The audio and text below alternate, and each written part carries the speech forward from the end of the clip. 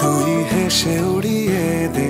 আমার যুক্তি তোর সাথেই হবে। শান্তি চুক্তি। কারণে অকারণে রেশারেশি আর জিলাপের প্যাচ পাবে মুক্তি।